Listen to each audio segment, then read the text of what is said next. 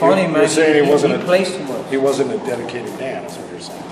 I mean, no. When he got in the ring, he did his thing. Training, everything was perfect. Yeah, he has natural. So outside the ring, you're saying. he was he played too much, but But he's very talented. He could be one of the best pound for pound fighters in the, down the line. I think so.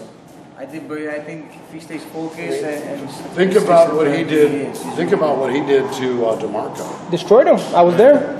A lot of fighters. I mean, he's good at the lower weight class. I don't know why he's you know, Because he's little. over over getting over. Well, you know, he, he certainly looked like he knew how to fight a southpaw. When he fought DeMarco, that's number one. Yeah.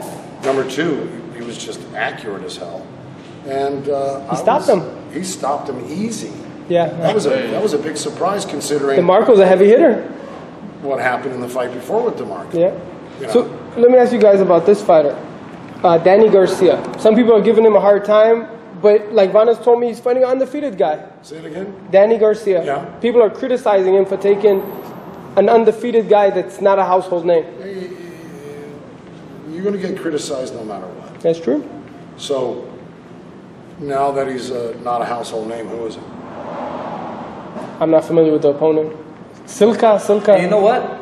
I somebody told me that expect an upset.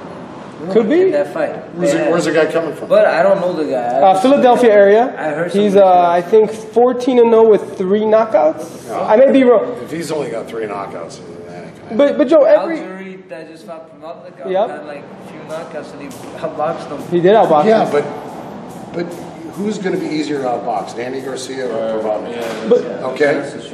You know Garcia's not going to get outboxed easily. He's a real Like technician. Garcia, I know from that just two. I think Danny stops him. He's gonna throw a hook and knock the guy out. Yeah, he should. That's what he should. do. What do, what do you guys think about Amir Khan? Yeah, he looks strong in his last fight. Um, I think you know he's good. I think he's been real quiet lately. You haven't really heard of him uh, a lot. Um, but he's good. I think you know he's. I think he's getting used to the, the Virgil, Virgil thing. Uh, Virgil Hunter, right? Virgil Hunter style, I a little bit. Um, I don't know. I haven't really seen the best of him from Virgil yet. But so far, he's, he's been winning. That's all that matters. FaceReport.com, Elie Seckbach reporting, and you can follow me on Twitter at Seckbach.